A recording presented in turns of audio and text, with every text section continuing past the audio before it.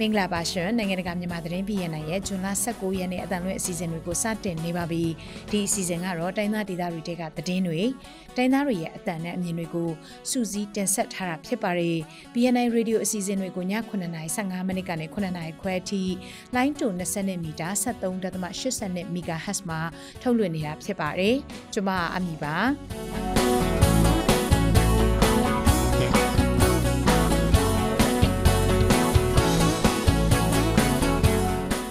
ဒီနေ့သတင်းလွှာတွေထဲမှာတော့ချင်းပြည်နယ်တောင်ပိုင်းမတူပီမြို့တိုက်ပွဲမှာစစ်ကောင်စီရဲ့ချင်းမြန်တပ်ရင်ခမရ334တပ်ရင်ကိုချင်းညီနောင်တပ်ဖွဲ့ကသိမ်းပိုက်လိုက်ပါတယ်။ကရင်ပြည်နယ်မှာတော့စစ်ကောင်စီရဲ့ခြေကုပ်စခန်းတစ်ခုကိုကရင်အမျိုးသားလွတ်မြောက်ရေးတပ်မတော် KNL ပူးပေါင်းတပ်ဖွဲ့တွေကတနင်္လာနေ့ကတိုက်ခိုက်သိမ်းပိုက်လိုက်ပါတယ်။သတင်းလွှာတွေထဲမှာတော့ကချင်ပြည်ဝိုင်းမော်မြို့နယ်တွေကအထက်တန်းကျောင်းသားမှာမူရစ်စေဝါရောင်းဝယ်သုံးဆွဲသူတွေနဲ့ပတ်သက်လို့ဒေသခံတွေကဘာတွေတောင်းဆိုနေပါသလဲ။ကချင်ပြည်မြောက်ဖြားပိုင်းဘူတာအိုခရိုင်နောင်မွန်းမြို့နယ်မှာစီးဝအခက်အခဲတွေဘယ်လောက်ထိရှိနေတယ်လဲဆိုတာနဲ့မွန်ပြည်နယ်အတွင်းကူးစက်မှုများလာတဲ့သွေးလွန်တုပ်ကွေးယောဂအခြေအနေကဘယ်လိုရှိနေတယ်လဲကာကွယ်ဖို့ဘယ်လိုလုပ်ရမလဲဆိုတာတွေကိုနားဆင်ရဖို့ရှိပါတယ်အခုတော့သတင်းတွေကိုကျွန်မနဲ့အတူစိုင်းမင်းကနေတင်ဆက်ပေးသွားမှာပါ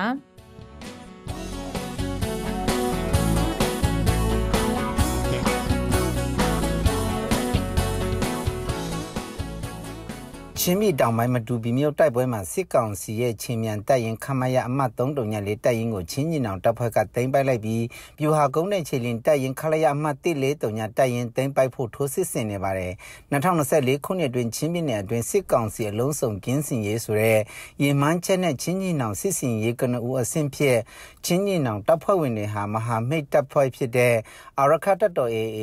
ရောအာမီစတဲ့ကာကွယ်ရေးတပ်ဖွဲ့တွေနဲ့ပူးပေါင်းပြီးဇွန်လ9ရက်နေ့ကနေစပြီးစစ်ကောင်စီတပ်ကိုတိုက်ခိုက်နေတာပါမတူပီမြို့ပေါ်မှာရှိတဲ့ခမရ3တုံညိုင်လေးတိုက်ရင်ကိုတနင်္လာနေ့မှာအပြစ်တက်သိမ်းယူနိုင်ခဲ့ပြီးစစ်ကောင်စီရဲ့ဟာဝေစာလက်နက်ကြီးတွေလက်နက်ခဲရနဲ့စစ်အုံဆောင်ပစ္စည်းတွေကိုသိမ်းပိုက်နိုင်ခဲ့တာလို့မနေ့ကထုတ်ပြန်ပါတယ်လက်ရှိမှာကြန့်ရှိနေတဲ့မတူပီဗျူဟာကုန်းခရရ143တုံညနဲ့အခြားစစ်ကောင်စီတပ်စခန်းတွေကိုသိမ်းပိုက်နိုင်ဖို့ဆက်လက်ထိုးစစ်ဆင်တိုက်ခိုက်လျက်ရှိနေတယ်လို့ချင်းညီနောင်ဘက်ကပြောပါတယ်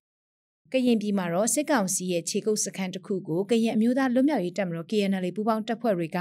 တင်းနှင်းလာနေကတိုက်ခိုက်သိမ်းပိုက်လိုက်ပါတယ်။ KNU ကရင်မျိုးသားအစည်းအရုံးထိန်းချုပ်နယ်မြေဒူးပလာယာခရိုင်တပ်မဟာ6ဒေသမြောက်ရီတောင်ဘက်မှာရှိတဲ့စစ်ကောင်စီရဲ့စုကလိစစ်စင်ရေးခြေကုပ်စခန်းကိုဇွန်လ18ရက်နေ့ကကရင်အမျိုးသားလွတ်မြောက်ရေးတပ်မတော် KNL ကရင်အမျိုးသားကာကွယ်ရေးတပ်မတော် KNDO နဲ့ PDF တော်လှန်ရေးပူးပေါင်းတပ်ဖွဲ့တွေကတိုက်ခိုက်သိမ်းပိုက်လိုက်တာဖြစ်ပါတယ်။တပ်ဖွဲ့ဝင်အယောက်9 50ဝန်းကျင်ရှိတဲ့အဲ့ဒီတပ်စခန်းကိုတိုက်ခိုက်သိမ်းပိုက်ရမှာတော့စစ်ကောင်စီတပ်ဖွဲ့ဝင်တချို့တေဆုံးခဲ့တယ်လို့ကျန်တဲ့တပ်ဖွဲ့ဝင်တချို့ကတော့တောင်ချီမှာရှိတဲ့ရွာတွေဘက်ကိုထွက်ပြေးသွားကြပါတယ်။စခန်းထဲမှာလည်းတေဆုံးနေတဲ့သူတချို့ရှိခဲ့ပြီးဖွက်ထားတဲ့စစ်လက်နက်ခဲယမ်းတွေကိုလည်းသိမ်းပိုက်ရရှိခဲ့တယ်လို့မြေပြင်ကတပ်မှုတယောက်က KIC ကိုပြောပါတယ်။စုကလီစခန်းမှာစစ်ကောင်စီရဲ့ခြေမြန်တပ်ရင်ခမရ963ညနဲ့ခြေလင်တပ်ရင်ခလာရ32တို့အခြေချတပ်ဆွဲထားတာဖြစ်ပြီးစခန်းသိမ်းပိုက်မှုမတိုင်ခင်ကလေးကလက်နက်ချပူပေါင်းဖို့တော်လှန်ရေးတပ်ဖွဲ့တွေကစာပေးပို့ခဲ့ဘူးပေမဲ့လိုက်နာတာမျိုးမရှိလို့အခုလိုမျိုးတိုက်ခိုက်သိမ်းပိုက်လိုက်တာလို့လည်းဆိုပါတယ် ရှမ်းပြည်တောင်ကြီးခရိုင်ပင်လောင်းမြို့နယ်အတွင်းစစ်ကောင်စီနဲ့ဂရီနီတော်လန်ရင်အားစုတပ်ဖွဲ့တို့တိုက်ပွဲပြန်နေပြင်းထန်လာတဲ့အတွက်ဒေသခံတွေနဲ့စစ်ပေးရှောင်တွေထပ်မံနေရပြောင်းရွှေ့ရတယ်လို့ရှမ်းတန်တော်စင်ကစုံစမ်းသိရှိရပါတယ်။မနေ့ကဆိုလ16ရက်နေ့နာနဲ့ပိုင်းအစပြီးပင်လောင်းမြို့နယ်အတွင်းမှာစစ်ကောင်စီနဲ့ဂရီနီတော်လန်ရင်အားစုတပ်ဖွဲ့တို့တိုက်ပွဲတဖန်ပြန်နေပြင်းထန်လာတဲ့အတွက်နန်းဖာမူကုန်းဘောဆောင်းလန်းမိုးဦးနဲ့လွယ်ကျိုင်းစားတဲ့ရွာကဒေသခံတွေစစ်ပေးရှောင်နေကြရတာပါစစ်ကောင်စီတပ်ဟာပင်လောင်းမြို့နယ်အတွင်းအခုဆွန်လာ19ရက်ကစတင်ပြီးစစ်ကြောင်းထိုးလာတာဖြစ်လို့မနေ့ကတိုက်ပွဲအပြင်းထန်ပြန်လည်ဖြစ်ပွားနေတာဖြစ်ပါတယ်အခုဖြစ်ပွားနေတဲ့တိုက်ပွဲတွေပြန်လည်ပြင်းထန်လာတဲ့ကြောင်းကျေးရွာ6ရွာကဒေသခံရာကနနဲ့အတူဂရနီဘက်ကလာရောက်ခိုလုံနေတဲ့စစ်ပေးရှောင်တွေအနီးနားရှိရွာတွေတောတောင်တွေဖက်ထမှန်ထွက်ပြေးရှောင်နေကြတာဖြစ်ပါတယ်လက်ရှိမှာတော့စစ်ရေးပဋိပက္ခဖြစ်ပွားနေတဲ့ပင်လောင်းမြို့တောင်ဘက်မိုင်40ခန့်ဝေးတဲ့ဒေသဘက်ကိုစစ်ကောင်စီတပ်ဖွဲ့တွေကဖုန်းလိုင်းနဲ့အင်တာနက်လိုင်းတွေဖြတ်ထားပါတယ်စစ်ကောင်စီပစ်ခတ်တဲ့လက်နက်ကြီးတွေကြောင့်လဲဒေသခံနေတချို့ပျက်စီးသွားပြီးစစ်ပေးရှောင်နှဦးလည်းထိခိုက်ဒဏ်ရာရရှိထားတယ်လို့သတင်းထွက်နေပေမဲ့ရှမ်းတန်တော်စစ်အနေနဲ့တော့အတိပြုဖို့ဆက်လက်စုံစမ်းလျက်ရှိနေပါတယ်တ နင်္သာရီတိုင်းတနင်္သာရီမြို့နယ်အခြေဆိုင်အောင်တာဝရစခန်းတိုက်ခိုက်သိမ်းပိုက်ခံရပြီးနောက်အဲ့ဒီစခန်းနဲ့15မိုင်အကွာမှာရှိတဲ့ကြောက်လုံးကြီးစခန်းကစစ်ကောင်စီတပ်ဖွဲ့ဝင်တွေစခန်းကနေစွန့်ခွာထွက်ပြေးသွားတယ်လို့တော်လန်ရေးအင်အားစုတွေကပြောပါတယ်တပ်အင်အား60ကျော်တပ်ဆွဲထားတဲ့စစ်ကောင်စီရဲ့အောင်တာဝရစခန်းကိုပြီးခဲ့တဲ့ဇွန်လ14ရက်နေ့မှာကရင်အမျိုးသားလူမျိုးရေးတပ်မတော် KNL ပူးပေါင်းတပ်ဖွဲ့တွေကအပိသက်တိုက်ခိုက်သိမ်းပိုက်ခဲ့တာပဲဖြစ်ပါတယ်အဲ့ဒီနောက်မှာတော့ဇွန်လ15ရက်နေ့မှာတပ်အင်အား30ကျော်တပ်ဆွဲထားတဲ့ကြောက်လုံးကြီးစခန်းကစစ်ကောင်စီတပ်ဖွဲ့ဝင်တွေအားလုံးကလည်းစခန်းကနေစွန့်ခွာထွက်ပြေးသွားကြပါတယ်။စစ်ကောင်စီတပ်ဖွဲ့ဝင်တွေစခန်းစွန့်ပြီးထွက်ပြေးသွားတဲ့ကြောက်လုံးကြီးစခန်းကို KNL ပူးပေါင်းတပ်ဖွဲ့တွေဘက်ကနေမြေရှင်းလင်းရေးတွေလှုပ်ဆောင်နေပြီးအသေးစိတ်သတင်းထုတ်ပြန်မယ်လို့မြိတ်ခရိုင်တပ်ရင်တစ်ပြန်ကြားရေးတာဝန်ခံကတောင်လင်ထိုင်းကိုပြောပါတယ်။အောင်တာဝရစခန်းသိမ်းတိုက်ပွဲတဲ့တေဆုံးနေတဲ့စစ်ကောင်စီတပ်ဖွဲ့ဝင်အလောင်း18လောင်းတွေ့ရှိခဲ့ပြီးလက်နက်ကြီးလက်နက်ငယ်တွေအပါအဝင်ကြီးစံအများအပြားနဲ့ဆက်ဆက်ပစ္စည်းတွေကိုလည်းတင်စီရမိခဲ့တယ်လို့ပူပေါင်းတပ်ဖွဲ့တွေဘက်ကသတင်းထုတ်ပြန်ထားပါတယ်ရှင်။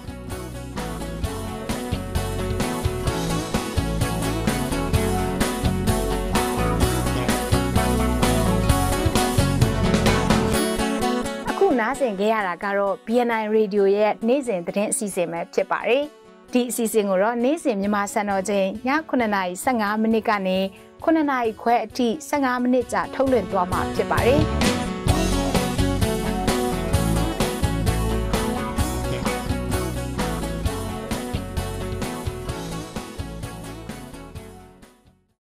အခုဆက်ပြီးတော့သတင်းလွှာတွေကိုတင်ဆက်ပေးသွားမှာပါ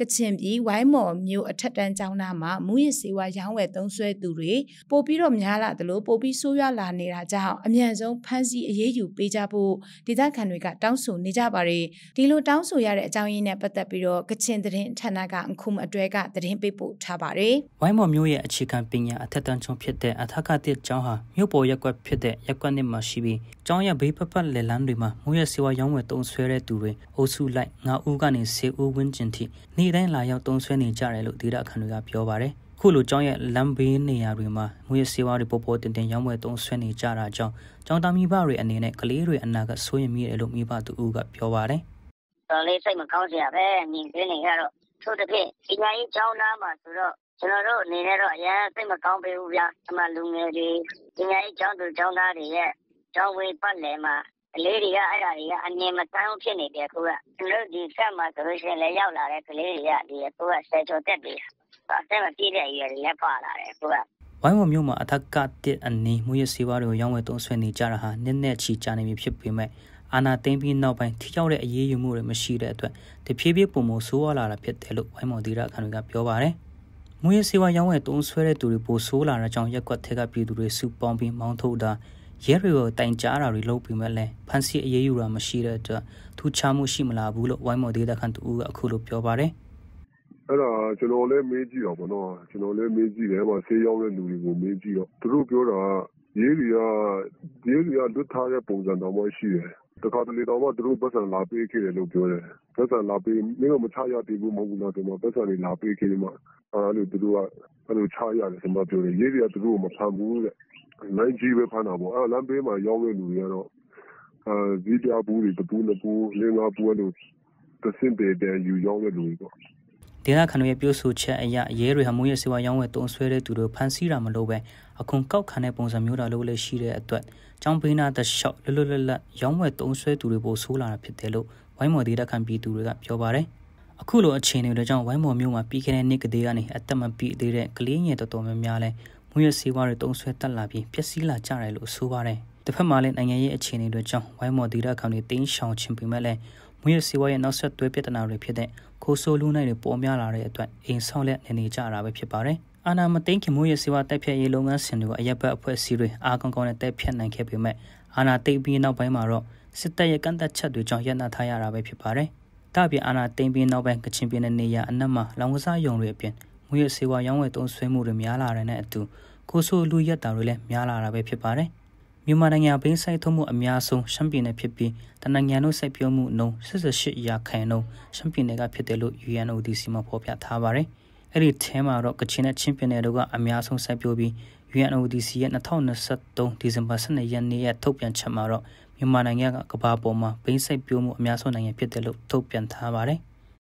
ကချင်ပြည်မြောက်ဖျားပိုင်းဘူတာအိုခရိုင်နောင်မိုးမြို့နယ်ပြည်သူစေယုံမှာတော့ဆေးဝါးလုံလောက်မှုမရှိတဲ့အပြင်ပြင်ပဆေးဆိုင်တွေမှာလည်းဆေးဝယ်ယူရရှိရေးခက်ခဲနေတာကြောင့်ဒေသခံပြည်သူတွေအခက်တွေ့နေတယ်လို့ဆိုကြပါတယ်။မြကျနာသတင်းဂျာနယ်ကမိုင်းနေရသတင်းပေးပို့ထားပါတယ်။ငွေကြေးခက်ခဲတဲ့ဒေတာခံတွေဟာဖျားနာမှုတွေရှိပြီးဆိုရင်ဘူတောင်မျိုးဘက်တော့ရောက်ကူတာဖို့အဆင်မပြေတဲ့အတွက်တရင်စေဝါတွေကိုပဲအသုံးပြုကူတာနေကြတာလို့နမိုဒေတာခံသူကမြကျနာသတင်းကြားနေကိုပြောပါရယ် ဘူတာဘူးသွားဘူးဆိုတာလေဒီဆေးရအစစကားပြောရဲဆိုတော့ပိုက်ဆံလေးမတက်နိုင်တဲ့အဆုံးတော့တချို့ကမသွားဖြစ်ဘူးပေါ့ဒီတိုင်းပဲအိမ်မှာတိုင်းဆေးတွေတော့အဲ့လိုပဲနေလိုက်တာကျမရေးပွင့်ရတော့တော်တော်လေးခက်ခဲတယ်ကာလံပိတ်သွားတဲ့နောက်ပိုင်းနမမျိုးမှာတခြားကုန်ပစ္စည်းတွေနဲ့အတူဆေးဝါးတွေလည်းဝယ်ယူရရှိဖို့ခက်ခဲသွားပြီးကျမရေးပိုင်းနဲ့ပတ်သက်လို့ခက်ခဲကြုံနေရတယ်ဆိုပြီးနောက်ထပ်နမဒေတာကန်သူကလည်းအခုလိုပြောပါရယ် ကိုတေနီဘယ်နီ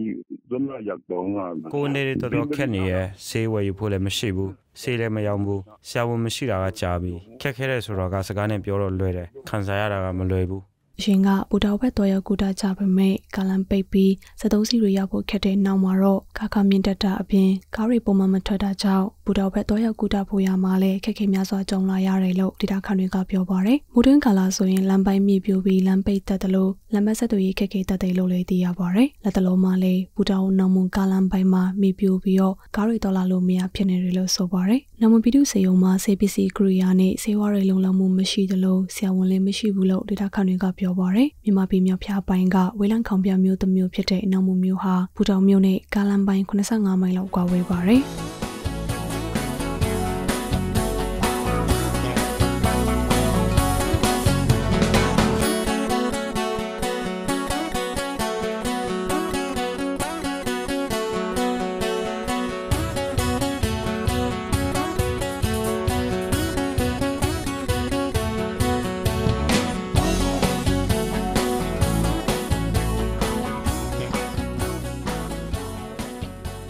မွန်ပြည်နယ်မှာအခုလဇွန်လပထမအပတ်ကစပြီးကလေးငယ်တွေသွေးလွန်တုပ်ကွေးယောဂအဖြစ်များလာတဲ့အတွက်မိဘတွေအနေနဲ့အထူးဂရုစိုက်ကြဖို့ဆရာဝန်တွေကအသိပေးတိုက်တွန်းလိုက်ပါတယ်။တန်လွင် time ကအေမီဆန်ကပြောပြထားပါတယ်။သွေးလွန်တုပ်ကွေးယောဂဟာတစ်နှစ်ပတ်လုံးဖြစ်ပွားတတ်တဲ့ကူးစက်ယောဂဖြစ်ပေမဲ့ပြည်내တွင်းမှာဇွန်လဒုတိယပတ်တွင်ယောဂဖြစ်ပွားမှုသိသာမြင့်တက်လာခဲ့တာပါ လက်တလုံးသွေးလွန်တုပ်ကွေးယောဂဖြစ်ပွားမှုရကလေးငယ်တွေမှာယောဂပြင်းထန်မှုနဲ့သေဆုံးမှုတွေမတွေ့ရသေးပေမဲ့အထူးဂရုစိုက်ကြဖို့ဆရာဝန်တွေကတိုက်တွန်းတာပါဆရာဝန်တူကတော့ဒီကာလမှာကလေးငယ်တွေဖျားနာပါကသွေးလွန်တုပ်ကွေးယောဂဟုတ်မဟုတ်သတိထားစောင့်ကြည့်ဖို့မှိန်းနေတဲ့လက္ခဏာပြရင်နီးစပ်ရာဆေးရုံဆေးကံအမြန်ဆုံးပို့ဆောင်ကုသကြဖို့တိုက်တွန်းပါတယ်ဒီဆရာကတော့ကလေးတွေကတော့ဘာကြောင့်ပဲကြကြ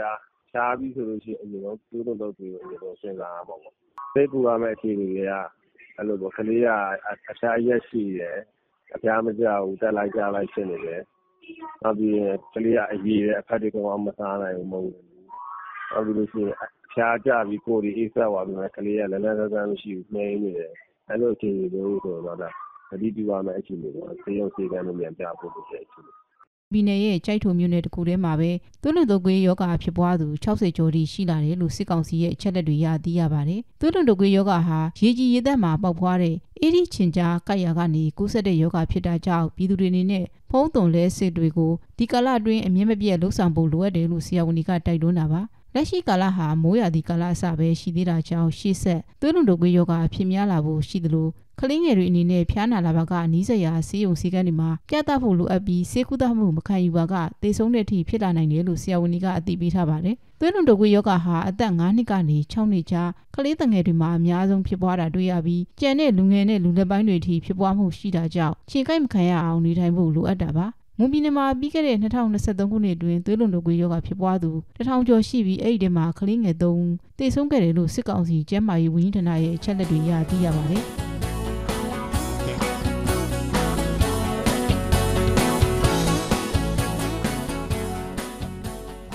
အခုနားဆင်ခဲ့ရတာကတော့ BNI Radio ရဲ့နေ့စဉ်သတင်းအစီအစဉ်ပဲဖြစ်ပါတယ်။ဒီအစီအစဉ်ကိုတော့နေ့စဉ်မြန်မာစံတော်ချိန်ည9:15မိနစ်ကနေ 9:00ခွဲအထိ15မိနစ်ကြာထုတ်လွှင့်သွားမှာဖြစ်ပါတယ်။နားဆင်ပေးကြတဲ့အတွက်ကျေးဇူးတင်ပါတယ်ရှင်။